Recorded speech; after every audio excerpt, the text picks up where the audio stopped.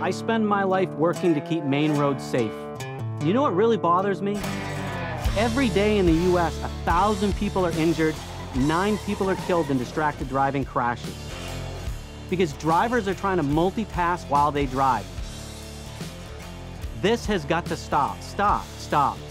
When you drive, put the phone down, keep your eyes up, and just drive.